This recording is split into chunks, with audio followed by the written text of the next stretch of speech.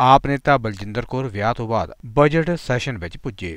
ਇਸ ਮੌਕੇ ਤੇ ਪੱਤਰਕਾਰਾਂ ਨਾਲ ਗੱਲਬਾਤ ਕਰਦਿਆਂ ਉਹਨਾਂ ਦਾ ਕਹਿਣਾ ਹੈ ਕਿ ਘਰ ਦੀਆਂ ਜ਼ਿੰਮੇਵਾਰੀਆਂ ਵੀ ਜ਼ਰੂਰੀ ਹਨ। ਇਸ ਦੇ ਨਾਲ ਮੈਨੂੰ ਆਪਣੇ ਲੋਕਾਂ ਦਾ ਪਿਆਰ ਵੀ ਬਹੁਤ ਜ਼ਰੂਰੀ ਹੈ, ਜਿਨ੍ਹਾਂ ਨੇ ਮੈਨੂੰ ਜਿਤਾ ਕੇ ਇੱਥੇ ਭੇਜਿਆ ਹੈ।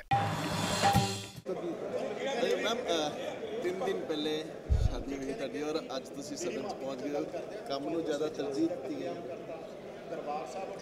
ਕੰਮ ਨੂੰ ਆਫ ਕੋਰਸ ਤਰਜੀਹ ਜ਼ਿਆਦਾ ਦੇਣੀ ਮੇਰਾ ਫਰਜ਼ ਬਣਦਾਗਾ, ਕਿਉਂਕਿ ਜਿਸ ਕੰਮ ਤੇ ਲੱਗੇ ਹੋਏ ਆ ਜਿਹੜੀ ਜ਼ਿੰਮੇਵਾਰੀ ਤੇ ਲੱਗੇ ਹੋਏ ਆ ਤੇ ਉਹਦੇ ਪਿੱਛੇ 1.5 ਲੱਖ ਲੋਕਾਂ ਦੀਆਂ ਵੋਟਸ ਜਿਹੜੀਆਂ ਨੇ ਉਹ ਕਾਊਂਟ ਕਰਦੀਆਂ, ਉਹਨਾਂ ਦੀਆਂ ਉਮੀਦਾਂ ਕਾਊਂਟ ਕਰਦੀਆਂ ਨੇ। ਤੇ ਬਾਕੀ ਬਜਟ ਸੈਸ਼ਨ ਜਿਹੜਾ ਦੈਟ ਇਜ਼ ਮੋਸਟ ਇੰਪੋਰਟੈਂਟ ਤੇ ਮੈਨੂੰ ਲੱਗਦਾ ਕਿ ਇਸ ਜ਼ਿੰਮੇਵਾਰੀ ਨੂੰ ਨਿਭਾਉਣਾ ਜਿਹੜਾ ਮੇਰੇ ਲਈ ਜ਼ਿਆਦਾ ਅਹਿਮੀਅਤ ਰੱਖਦਾ ਹੈ। ਆਈ ਨੋ ਵਿਆਹ ਹੁਣੇ ਹੁਣੇ ਬਟ ਵਿਆਹ ਜਿਹੜਾ ਉਹ ਕੰਪਲੀਟ ਹੋ ਗਿਆ ਤੇ ਹੁਣ ਅਗਲੀ ਜ਼ਿੰਮੇਵਾਰੀ ਨਾਲ ਦੀ ਨਾਲ ਤੋਰਨਾ ਉਹ ਉਹ ਵੀ ਮੇਰੀ ਮਤਲਬ ਇੱਕ ਰਿਸਪੌਂਸਿਬਿਲਟੀ ਹੈ।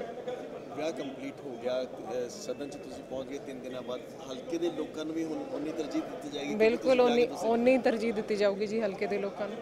ਉਹਨਾਂ ਨੂੰ ਕਦੀ ਵੀ ਜਿਹੜੀ ਆ ਕਮੀ ਉਹ ਨਹੀਂ ਮਹਿਸੂਸ ਹੋਊਗੀ ਕਿ ਸਾਡੇ ਜਿਹੜੇ ਐਮਐਲਏ ਨੇ ਸਾਡੇ ਜਿਹੜੇ ਵਿਧਾਇਕ ਨੇ ਉਹ ਸਾਡੇ ਤੋਂ ਦੂਰ ਨੇ ਜਾਂ ਸਾਡੇ ਵਿੱਚ ਨਹੀਂ ਹੈਗੇ ਜਾਂ ਸਾਡੇ ਤੇ ਗੈਰ ਹਾਜ਼ਰ ਨੇ।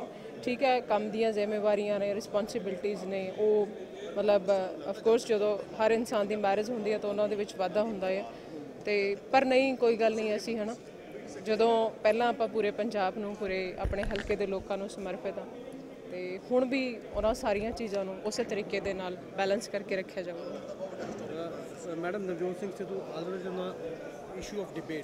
Again, for the reason or wrong reason, we don't know. What is the take on the Mr. Sidhu's?